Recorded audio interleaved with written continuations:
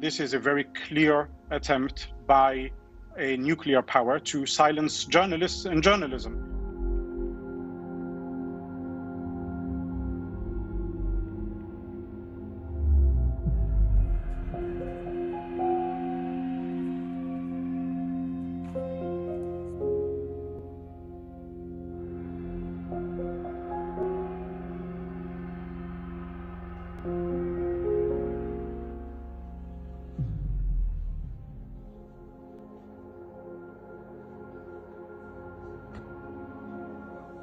Al Jazeera offices were decimated, destroyed.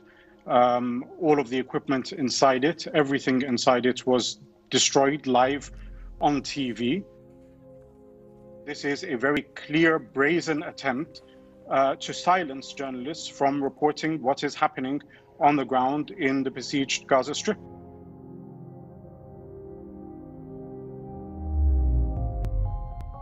It's about Palestinian terrorist, uh, uh, an intelligence office for the Palestinian terrorist organization housed in that building that plots and organizes the terror attacks against Israeli civilians. So it's a perfectly legitimate target.